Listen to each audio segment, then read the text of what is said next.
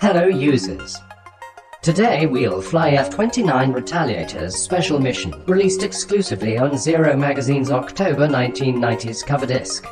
It was a promotional mission for the planned sequel to F-29 Retaliator, having new features like carrier takeoff and landing capability, as well as a few surprises. See you at the briefing room.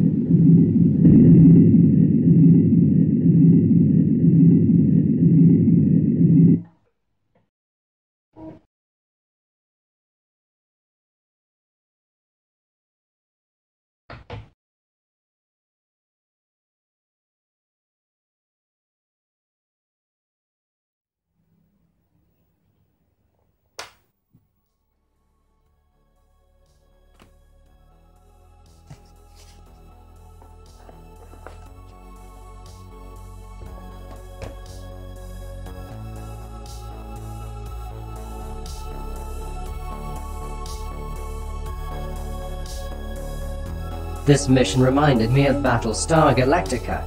Did you like it, users?